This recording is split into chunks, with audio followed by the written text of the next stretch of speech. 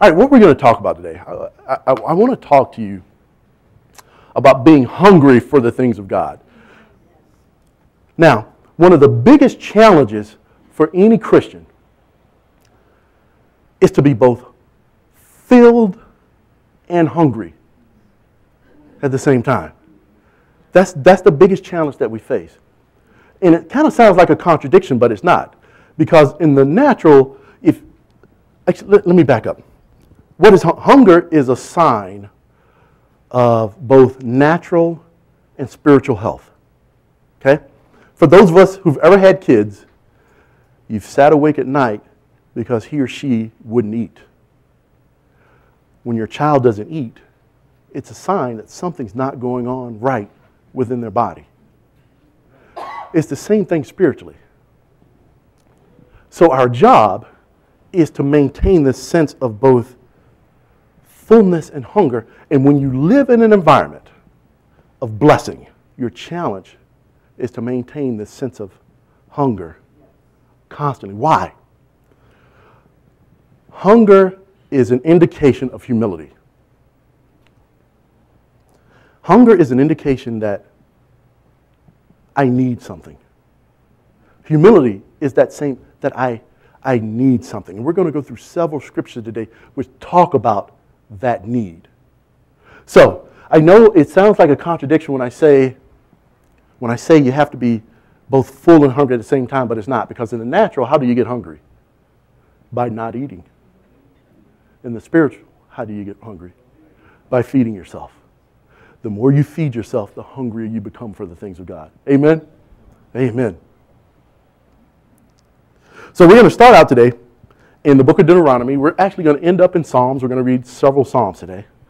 But we're going to start in Deut- Deuteronomy 8, chapter 3. Deuteronomy 8 3 says, So he humbled you, allowed you to hunger, and fed you with manna, which you did not know, nor did your fathers know, that he might make you know that man shall not live by bread alone, but by what? Every word that proceeds from the mouth of the Lord. This, again, this is hilarious. It's the first part of this verse, which is so hilarious when you look at the meaning of the words. So he humbled you, allowed you to hunger, and feed you with manna. Does anybody know what manna means? And manna, of course, means it's the food of angels, but it means what is it? He humbled you and allowed you to hunger and fed you with what is it? Which you didn't know. Neither did your fathers know, that he might make you know. Here's the thing what is it? I, I fed you with what is it? it's so funny. I allowed you to exist in the mystery of what is it. So that out of that mystery, you would know something. You would know that man doesn't live by bread alone. I fed you what is it? It's, it's, it's that's, that's, to me, that's, that's funny. That, what is it? I'm not going to tell you. Just eat it, yeah. What is it? I'm not going to tell you. But out of that, you'll know something. There's a lot of times we're asking God, what is it?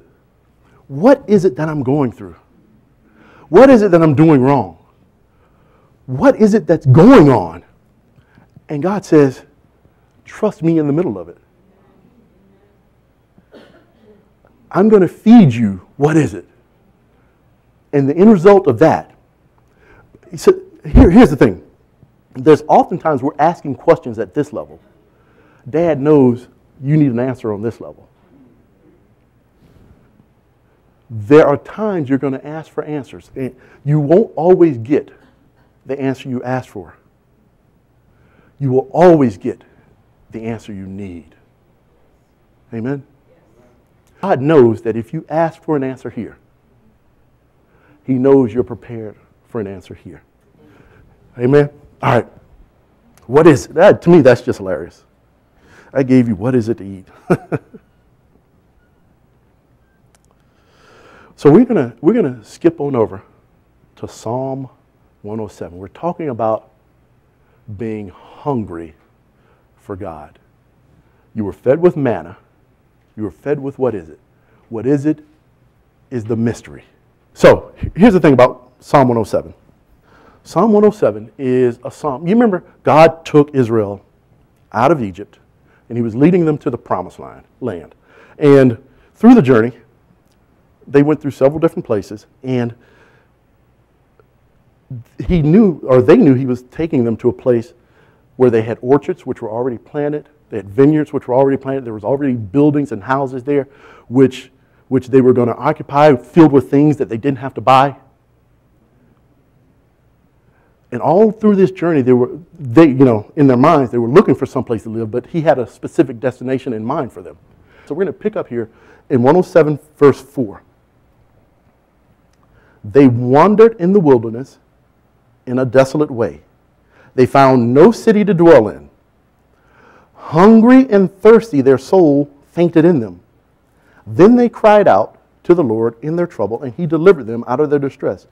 And he led them forth by the right way that they might go to the city for a dwelling place. And one more thing I want to look at here in Isaiah. We're, we're, again, we're talking about hunger and the purpose of hungry people. God uses hungry people to establish cities. Let, let me just say that. That's where we're going. Hungry people establish cities. Um, in Isaiah 29, the Lord describes a situation. And in this situation, he finishes it, or he uses verse 8 to describe what happens to those in this situation. He said, It shall be that when a hungry man dreams, that man is dreaming of food. He wakes up, there's no food, he's still hungry. When a thirsty man dreams, he's dreaming of something to drink, but when he wakes up, he didn't have nothing to drink, so he's still thirsty. The point being is that hunger stirs up dreams. Hunger, when you're hungry for the things of God, it stirs up dreams. You know, those who've actually lost their desire for like improvement, improvement of their business, improvement of their, their marriage, improvement of their relationships, they simply lost hunger. That's all it is. They've lost that hunger. In Proverbs, Solomon says something really cool. He says, you know what? We don't hate someone when they steal to satisfy the hunger of their family. They still have to pay back seven times what they stole, but we don't hate them. We, we, we, we don't hate them because we know that hunger was the reason that they stepped outside of what is comfortable. All right? So that natural hunger caused them to step outside of what's comfortable. Spiritual hunger will make you step outside of what's comfortable to yourself. How do you get hungry? You feed yourself. I, I, know this for a fact because, and I, I, don't remember what precipitated buying this book, uh, that advanced Bible study course. For me, that was the first taste of real hunger for me. E.W. Kenyon has an advanced Bible study course, and the chapter three is called Acting on the Word of God. And that lit a fire under me. And it precipitated me stepping outside of my comfort zone and allowed me to see my first heal- healing miracle being hungry will push you out to do things. It is absolutely imperative for us to remain hungry. That is part of spiritual maturity. Spiritual maturity in the kingdom is dictated by hunger. And here's the problem if, if you don't maintain hunger, if you don't maintain hunger, you'll end up living off the interest of yesterday's investment. Then what happens? Yesterday becomes last week. Last week becomes last month. Last month becomes last year. Last year becomes last decade. If you're not hungry, you will not continually feed yourself on the things that God is doing. You won't continually have that, that experience of, of having that hunger filled, and you'll end up living off of yesterday's investment. And yesterday's investment is kind of like yesterday's manna. You remember what happened to that, right? it got spoiled.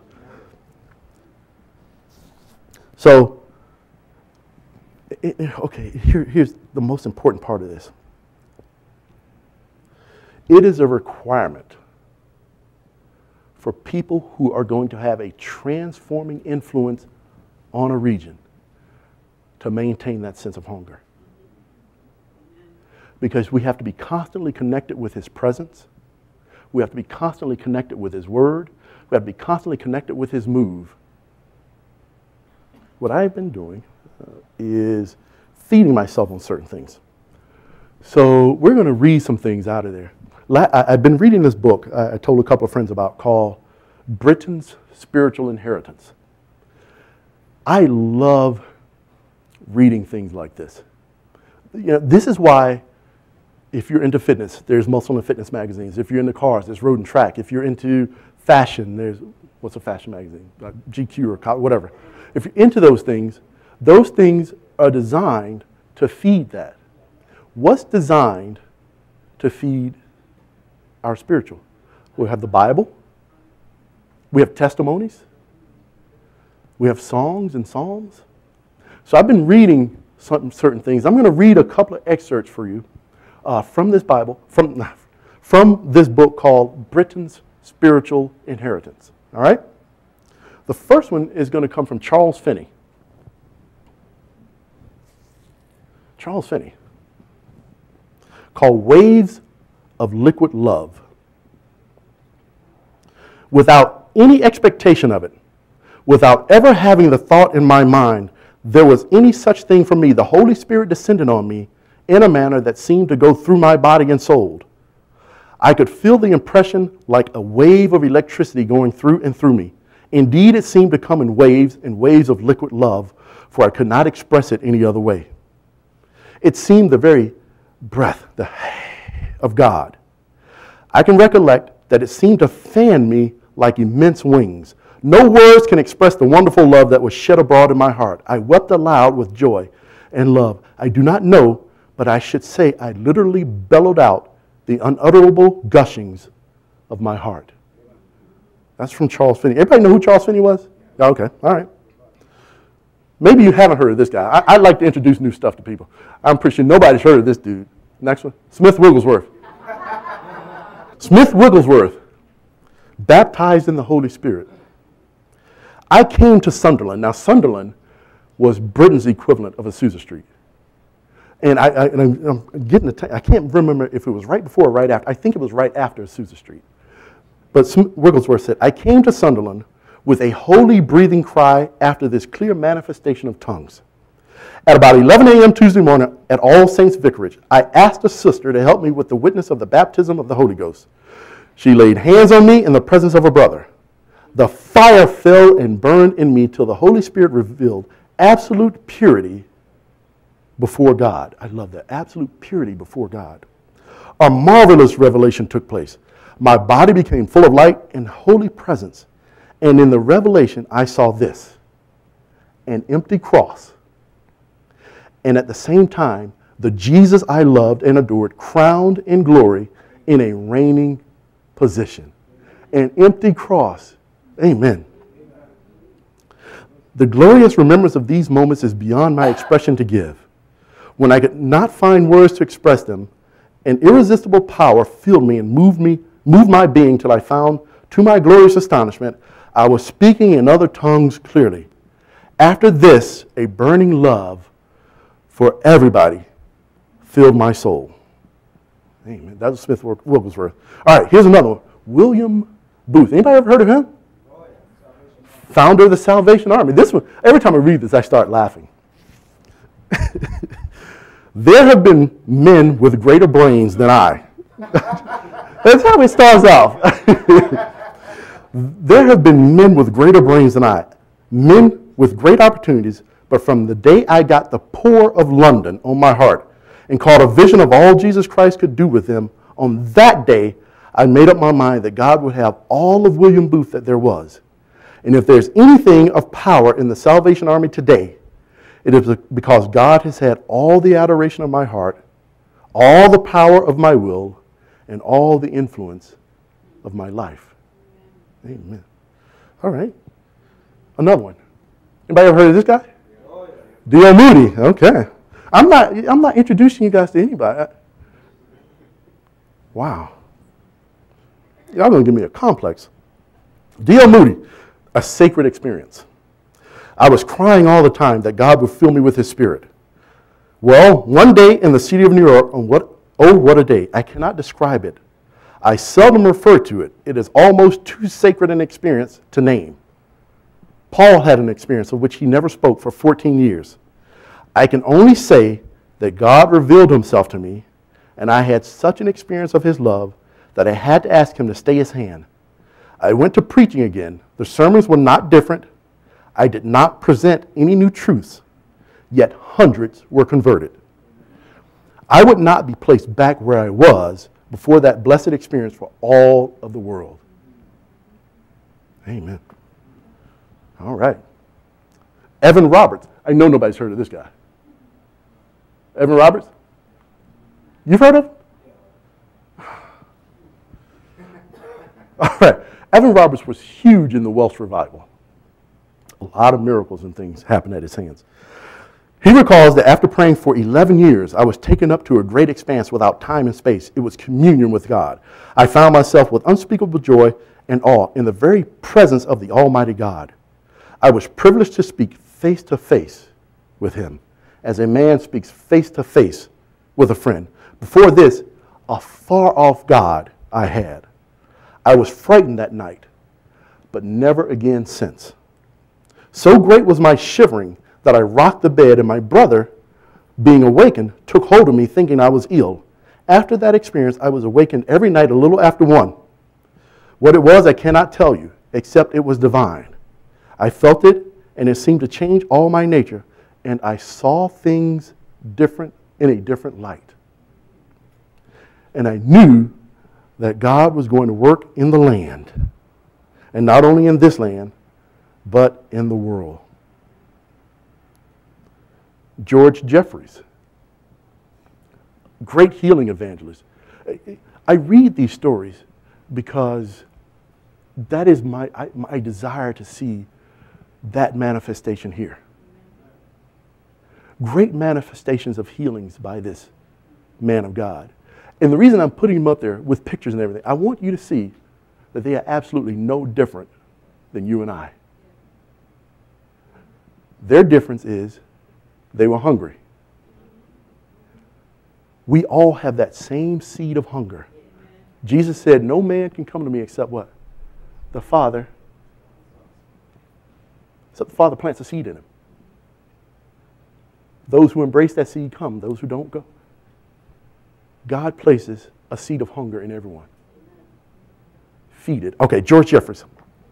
We were kneeling in prayer one Sunday morning and we were interceding. It was at exactly 9 o'clock when the power of God came upon me.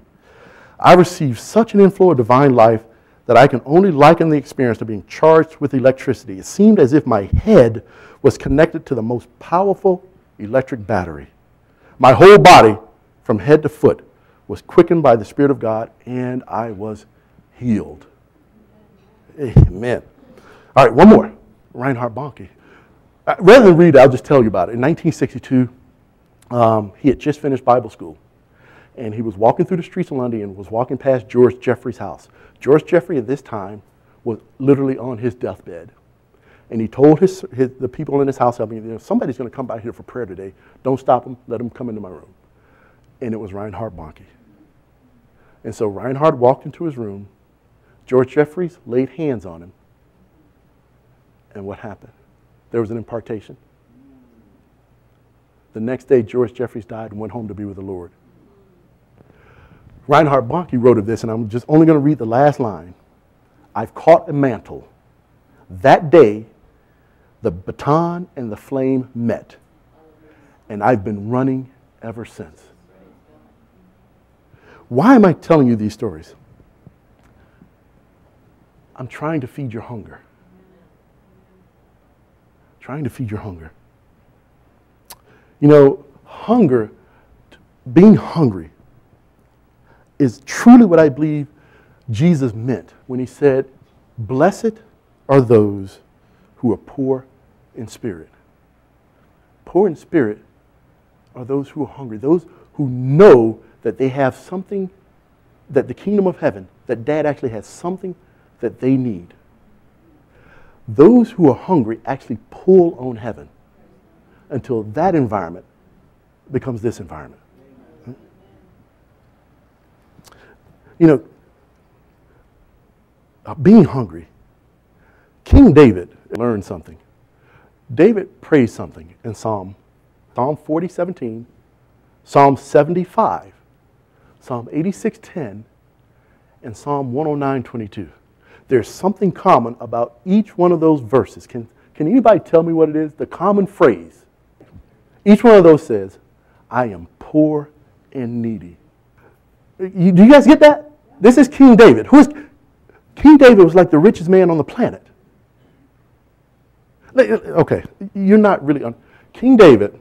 Like today, when you look at the Forbes list, between one, two, three, four, a couple of billion dollars.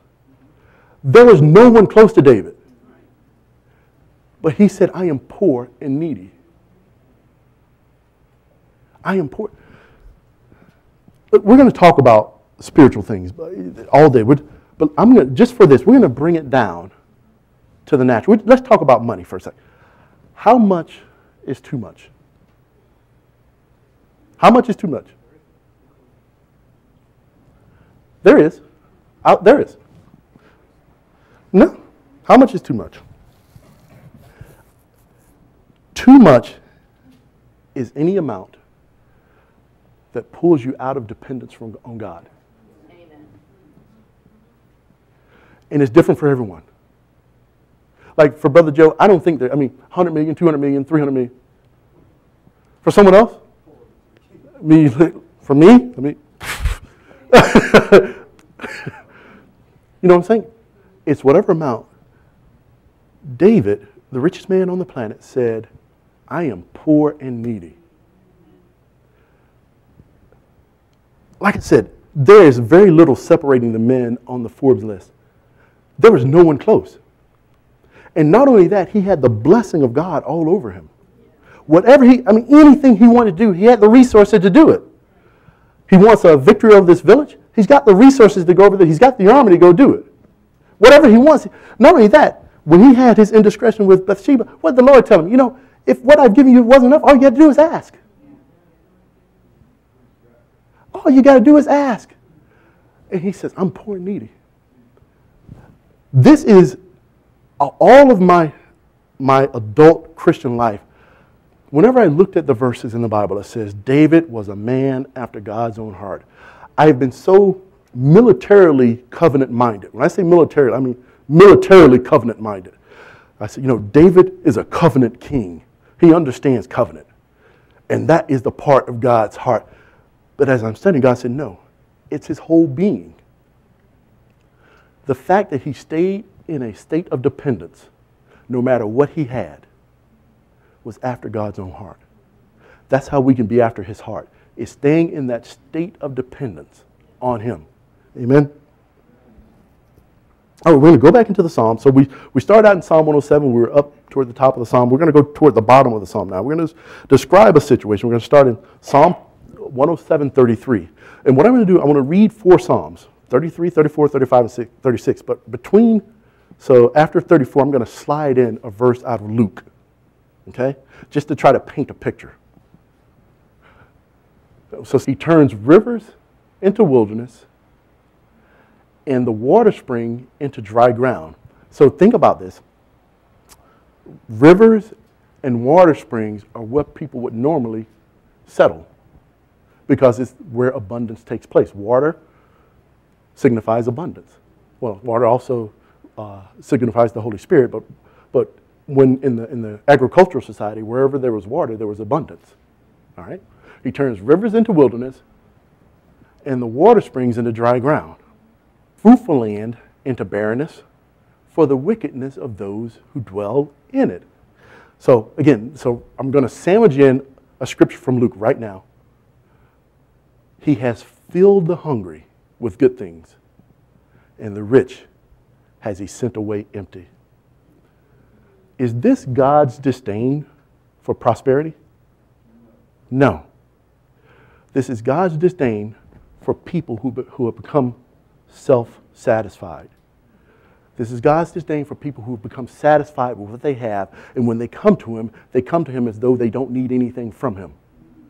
I don't care what you have, I don't care how much you have. I don't care how much anointing you have. I don't care how many people you've laid hands on and seen recover. I don't care how much, whatever you have, you are always dependent on God. He has filled who? He filled who? The hungry.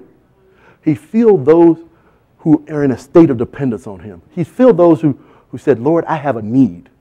Now, if, a, if an absolutely wealthy man came to him and said, Lord, I have a need, would he turn him away? Absolutely not. It's not God's disdain for prosperity. And, and the reason I want to point this out, because in this society we actually have this, this spirit of, I, I don't know if I call it jealousy or what, against people who are prosperous. And we got to guard our hearts against that. All right? For some reason, I don't know why, but there's people who want to take away from the haves and get to the have nots. I'm not for it. God isn't for that. And God doesn't hate prosperity. What he hates is a wrong heart. Go back 107:34, please. A fruitful land and barrenness the, for the wickedness of those who dwell in it. I believe that wickedness goes further than just what they did. I think the wickedness are those, a wicked heart is a heart that is no longer dependent on God for anything. That is a wicked heart. Amen? All right, so we're going to skip down to 35. So 35 and 36, we see him reversing what he did in 33 and 34. He turns the wilderness into pools of water and dry land into water springs. There he makes who to dwell? In the abundant land, he puts the hungry people there. Why? That they may establish a city for a dwelling place. Why is God so bent on the hungry establishing a city? A city? Because God wants the DNA of that city to be defined by those who are hungry. He wants the interpersonal re- react, uh, relations to be defined by those who are hungry. He wants the government to be defined by those who are hungry for him. There he makes the hungry to dwell, that they may establish a city for a dwelling place. What happens in that city? Healings happen in that city. Deliverance happens in that city. Right teachings about him happen in that city one of the things that is so vitally important in every, uh, every message that comes out of this pulpit has an underlying theme to it. Dad loves you. Dad absolutely loves you. Why do I call him dad? Because that's who he is. And the more comfortable we, we get with that, the easier it is to go to him. Your dad is the creator of the universe who absolutely loves you. I, we can't stress that enough. All right. So, verse 36 says, He makes the hungry to dwell, and he, that He may establish a city. What is He saying? That the destiny and strength of that city goes with the destiny and strength of the hungry ones he placed in it. The DNA of that city is to be established by those he's placed in it.